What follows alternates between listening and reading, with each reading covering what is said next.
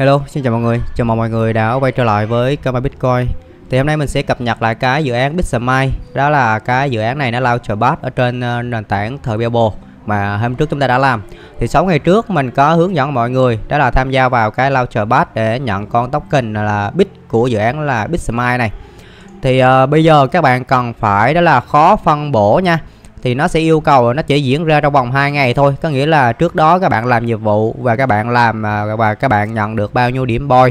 Thì bây giờ nó đã phân à, nó nó nó đã phân bổ cho các bạn đó là số lượng token là nhận bao nhiêu.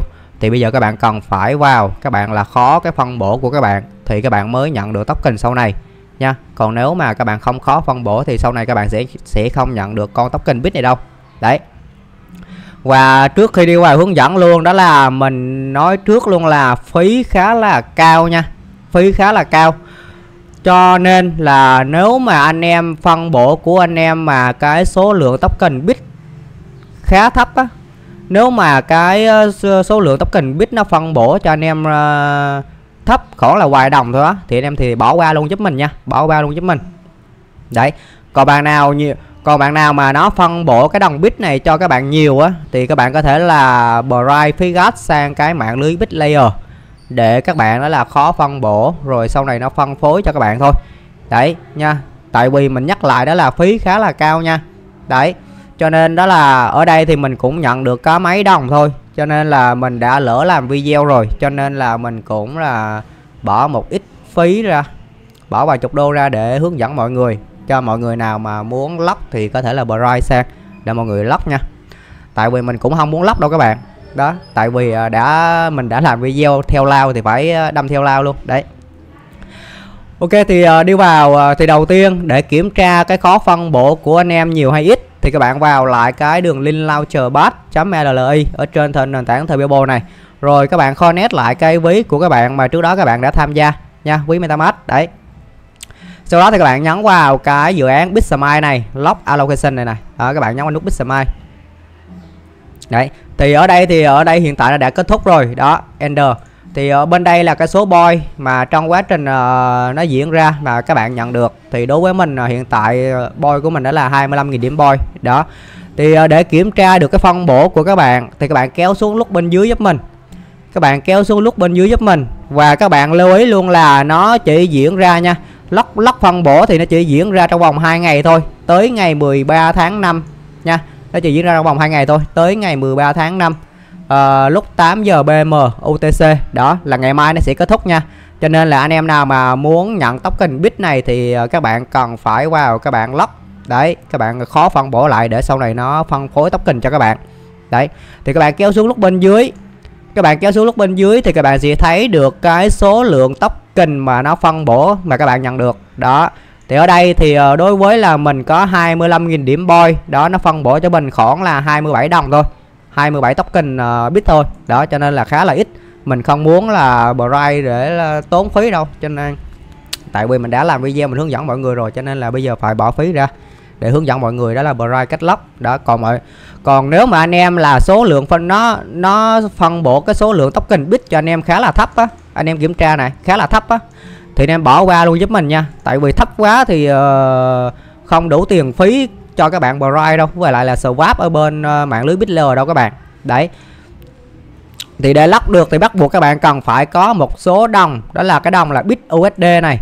Đó thì uh, các bạn chỉ cần nhấn vào cái dòng đó là lock do allocation này này thì nó sẽ hiển thị ra cái số lượng bit USD đó bit USD mà để chúng ta đã là khó. Hiện tại thì mình chưa có cái đồng bit USD này cho nên là mình chưa lock được. Bây giờ mình phải bright sang rồi mình swap sang cái đồng là bit USD này. Thì mình mình mới khó được nha.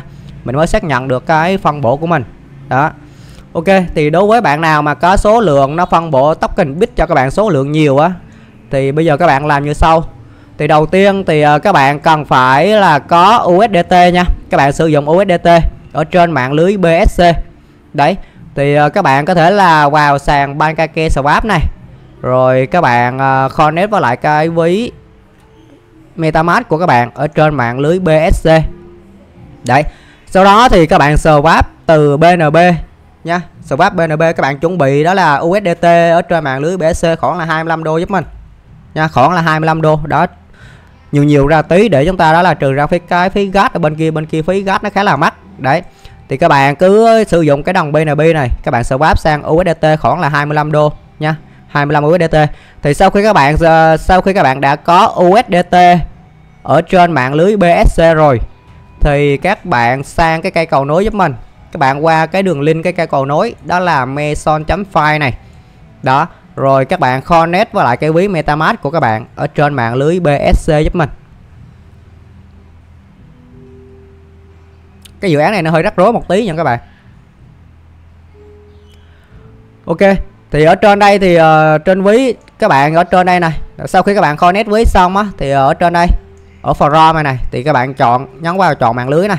Rồi các bạn chọn cho mình đó là BNB đó các bạn nhấn vào BNB thì nó sẽ tiếp tục các bạn chọn cho mình cái mạng lưới đó là mạng lưới BNB Chain BNB Chain có nghĩa là mạng lưới BSC các bạn đó thì trên ví MetaMask của các bạn các bạn cũng chuyển đổi sang mạng lưới BSC luôn giúp mình đấy mạng lưới BNB Chain mạng lưới BSC còn ở dưới thì các bạn chọn cho mình cái mạng lưới nhận lại đó là mạng lưới BitLayer nha mạng lưới BitLayer đó các bạn nhấn vào rồi các bạn chọn cho mình đó là BTC chọn BTC thì nó sẽ hiện các bạn sẽ thấy được cái mạng lưới BitLayer thôi thì các bạn chọn mạng lưới BitLayer đó. Sau đó thì chúng ta sẽ sử dụng ờ, cái đồng mà Bright USDT từ mạng lưới BNB Chain. Đó. Thì các bạn chọn ở trên các bạn nhấn vào cái logo của USDT này các bạn nhấn qua thì trên ví của các bạn đang có bao nhiêu USDT thì nó sẽ hiển thị ở đây cho các bạn thôi. Tại vì mình vừa Bright rồi. Mình vừa thử rồi mình mới uh, uh, làm video cho các bạn. Đó. Thì hồi nãy các bạn swap khoảng là 25 đô nha. 25 đô. Đó. Thì bây giờ các bạn điền lại là 25 USDT chọn USDT nha chọn logo USDT này, sau đó các bạn điền lại là số lượng USDT hay là 25 và trước khi các bạn swap thì các bạn cần phải đó là lấy cái phí gas ở trên là mạng lưới BitLayer tại vì mạng lưới BitLayer nó sử dụng cái đồng BTC để làm phí gas cho nên là trước khi các bạn bờ á, thì các bạn ở dưới đây nó sẽ có cái chữ đó là nit gas này nha nit gas này này đó, các bạn nhấn vào chữ nit gas giúp mình. Đó thì đối với các bạn Bright đó là 25 USDT thì các bạn uh, có thể là kéo mát lên đây nhá. Mặc định đó mặc định nó để refuel uh, ờ, phí gas sang uh, chuyển sang BTC để làm phí gas đó là 5 đô. Đó thì ở đây thì nếu mà các bạn Bright 25 USDT thì các bạn uh, nhấn vào đây nít gas này. Rồi các bạn kéo mát lên giúp mình đó là 20 đô nha các bạn kéo mát lên đó là lấy phí đó là chuyển từ 20 đô sang cái đồng BTC ở bên mạng lưới BitLayer để chúng ta làm phi gas còn 5 đô còn lại thì ờ, chúng ta sẽ tí nữa chúng ta sẽ tiến hành là swap sang cái đồng bit USD đó thì sau khi các bạn kéo mát cái thanh này lên đó thì các bạn nhấn vào chữ confirm. Đó sau đó thì uh, sau đó thì nó sẽ hiển thị ra cái giao diện như, như thế này. Thì sau khi các bạn bright xong á thì ở bên mạng lưới BitLayer các bạn sẽ nhận lại được khoảng là 3,6 đô 3,6 USDT kèm với lại là 20 đô đồng mà 20 đô BTC để làm phí gas ở bên mạng lưới BitLayer nha. Đó. Đấy, cái đó cái đó là phao kẹp phí gas thì sau đó thì các bạn chỉ cần nhấn vào chữ đó là confirm appro nha. Đầu tiên thì các bạn appro appro nghĩa là mở khó con trách của USDT ở trên mạng lưới BSC đó. Thì các bạn chỉ cần nhấn nút appro rồi các bạn appro sau khi các bạn appro xong thì cái nút confirm nó sẽ hiện ra cho các bạn. Thì các bạn nhấn vào chữ confirm. Sau đó thì các bạn xin ký đấy nha. Thì sau khi các bạn xin ký xong thì cái ví của các bạn nó sẽ tự động mở ra và nó yêu cầu các bạn đó là à, xác thực phí gas thì phí gas ở trên mạng lưới ờ, BNB Chain mạng lưới BSC nó khá là rẻ thôi khoảng là không phải mấy đô thôi. Đó thì các bạn xác nhận phí gas thì sau khi các bạn xác nhận phí gas xong thì các bạn đợi khoảng là một một đến 2 phút nha. Đợi khoảng là 1 đến 2 phút thì cái giao thì cái giao dịch của các bạn nó sẽ xác nhận uh, thôi. Đó thì uh, các bạn có thể là sau khi các bạn uh, sau khi cái giao dịch của các bạn nó xác nhận xong á thì nó sẽ hiện ra cái chữ đó là socket có nghĩa là cái những cái tài sản mà các bạn vừa bờ rai từ mạng lưới BSC là đã qua cái mạng lưới BitLayer cho các bạn rồi. Các bạn có thể là kiểm tra transaction đó là trên cái ờ, uh, nhấn vào cái địa chỉ ví của các bạn ở phía góc trên bên tay phải này nhấn vào. Thì các bạn sẽ thấy được cái uh, cái transaction này mà các bạn vừa bờ rai này đó mình vừa mình vừa bờ rai hồi nãy rồi nè. Đó ok, thì sau khi các bạn đã bờ ra thành công rồi, nó đi hiện chữ xúc kết rồi, thì các bạn chỉ cần đó là tiếp theo đó, thì các bạn qua cái ờ, sàn dead là bitcoin.xyz này. Đó, thì trên ví metamask của các bạn các bạn chuyển đổi sang mạng lưới bitlayer giúp mình. Các bạn chuyển đổi sang mạng lưới bitlayer. Bitlayer mainnet đó. Thì sau khi các bạn chuyển xong thì các bạn sẽ thấy được cái số lượng BTC khoảng là 20 đô á, nha. Mà hồi nãy các bạn đã chuyển phí gas đó nó sẽ hiển thị ở đây. Đó là đó là BTC còn về phần USDT thì các bạn chỉ cần là connect với lại cái ví của các bạn thôi. Đó với cái sàn DEX này thì nó sẽ tự động hiện ra cho các bạn. Đấy. Thì các bạn nhấn vào chữ connect ở trên sàn DEX này. Connect với lại cái ví MetaMask của các bạn ở trên mạng lưới BitLayer.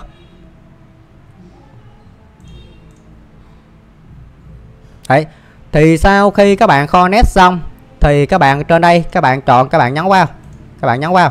Thì các bạn sẽ thấy được cái số USDT mà hồi nãy các bạn bờ qua. Đó. Thì hồi nãy thì ờ, khoảng là 4 đô thì nó trừ phí ra còn đâu đó khoảng là 3,6 đô cho các bạn thôi. Đó đó, đó là USDT nha.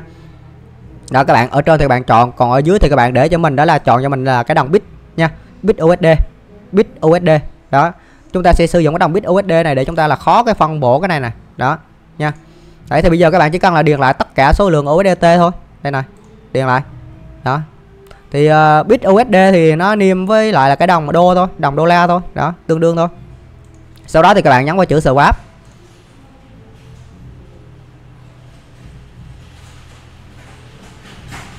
Rồi các bạn ờ, uh, áp pro trên ví thôi. Thì phí áp pro hiện tại uh, nếu mà nó, nó yêu cầu các bạn điền lại số lượng chi tiêu USDT thì các bạn nhấn vào chữ tối đa hoặc là các bạn nhấn vào cái số lượng mà các bạn muốn swap. Đó. Rồi các bạn áp rô thôi. Phí áp rô hiện tại đó là 0,32 đô. BTC nha. Đấy tại vì ờ, mạng BitLayer thì nó sẽ sử dụng cái đồng BTC để làm phí gas đó.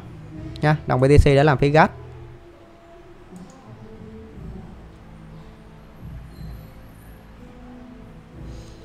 các bạn đợi nha. Ok sau khi các bạn áp pro xong thì các bạn đợi một tí thì cái ờ, quý metamask của các bạn nó sẽ tự động mở ra. Và nó yêu cầu các bạn đó là xác thực giao dịch một lần nữa.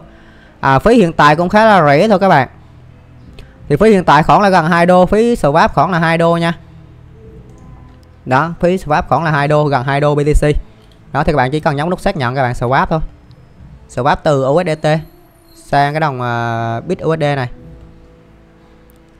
Ok thì như vậy là mình đã swap thành công Như vậy là mình đã có cái đồng bit USD rồi Đây đồng bit USD đây đó thì sau khi các bạn đã có cái đồng bit USD rồi thì các bạn quay trở lại với cái trang Launchpad để chúng ta là khó phân bổ nha. Thì trên cái trang Launchpad các bạn kéo xuống bên dưới, các bạn nhấn vào chữ đó là lock do allocation. Đấy, thì sau đó thì sau khi ờ, trên quý của các bạn đang có bao nhiêu thì nó sẽ hiển thị bit USD của các bạn trên đây bấy nhiêu thôi. Đó bây giờ nó sẽ đó, hồi nãy mình uh, hồi nãy thì ờ, mình không có bit USD cho nên là cái dòng đầu tiên lắp do allocation này nó không có hiện ra. Đó bây giờ mình có đủ rồi. Thì ờ, uh, nít bay thì uh, khó thì khoảng là 0,012 bit USD thôi các bạn. Đó. Thì uh, đó các bạn chỉ cần nhấn vào chữ đó là lock do allocation. Đấy rồi sau đó nó hiện ra cái thông báo như thế này. Thì tiếp tục các bạn nhấn vào cái dòng đầu tiên đó là locking do allocation. Các bạn nhấn qua đấy rồi sau đó thì cái quý metamask của các bạn nó sẽ tự động mở ra và yêu cầu các bạn đó là xác thực giao dịch.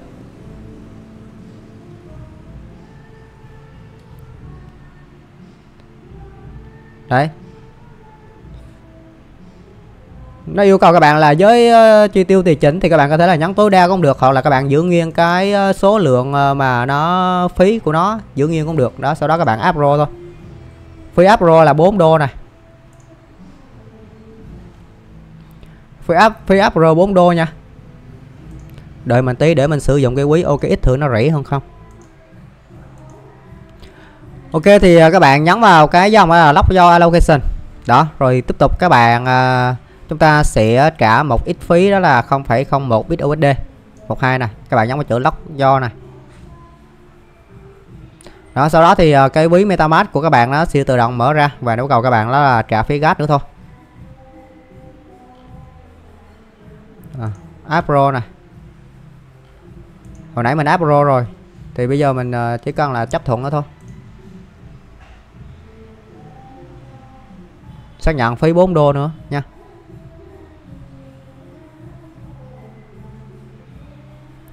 Ờ mình phải xác nhận một lần phí gas nữa các bạn. À, Phí 10 đô luôn các bạn.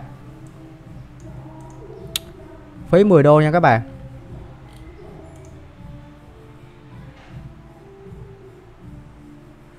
Phí khá là cao. Ok, mình sẽ xác nhận luôn.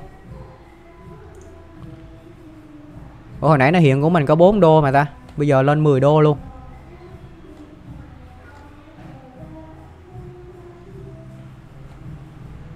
Ok, lỡ rồi, xác nhận luôn.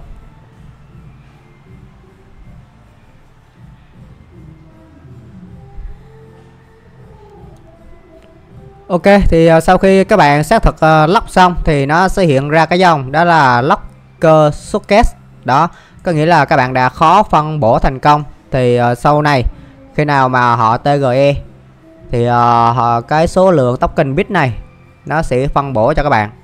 Nha chúng ta có thể là vào đây chúng ta claim hoặc là nó tự động phân bổ về ví gì đó mình cũng chưa rõ mà chắc là vào đây claim rồi các bạn. Đó Ok thì ờ, đối với bạn nào mà trước đó có làm mà số lượng ờ, nhiều á thì có thể là bright tài sản bright phí gas sang để các bạn đó là lóc nha. Khó phân bổ. Còn đối với bạn nào mà chỉ có là 5 đồng hay là dưới 10 đồng gì đó nha thì uh, các bạn có thể là cân nhắc các bạn có thể là bỏ qua tại vì uh, phí gas khá là cao. Đấy. Ok, ngoài ra thì nếu mà các bạn cứ giữ còn ờ, số lượng BTC mà còn dư các bạn. Số lượng BTC mà các bạn còn dư trên đây này. Đó thì các bạn cứ giữ đó thôi. Giữ đó, để đó thì ờ, sau này chúng ta sẽ claim cái con này Rồi về chúng ta bán thôi. Bán sau đó thì bán qua, qua BTC Sau này bán xong thì các bạn có thể là bright BTC về lại thôi. Đó Sau này các bạn có thể là sử dụng cái cây cầu nối Meson này này. Rồi các bạn bright BTC từ mạng lưới BitLayer về lại những cái mạng lưới như là BNB Chain. Đó nha hoặc là các bạn cũng có thể sử dụng cái cầu cái cầu OWLTO này. OWLTO Finance này thì họ cũng đã đây này BTC này. Đó. Từ mạng lưới ờ, Bitcoin này. Mạng lưới Bitcoin thì các bạn sẽ thấy được cái mạng lưới BitLayer thôi. Đó BTC ở dưới các bạn muốn bright về lại uh, mạng lưới BNB Chain thì các bạn chọn thôi. Đó rồi ờ, uh, min bright trên LTO này đó là 0,01 0,001 BTC đó tương đương khoảng là 6 đô hay sao á. Ok. Ok thì như vậy là cái video mình cập nhật và hướng dẫn mọi người đó là lóc phân bổ cái đồng à, uh, bit từ cái dự án Bitsmile thì đây là kết thúc. Cảm ơn các bạn đã xem. Hẹn các bạn ở video tiếp theo.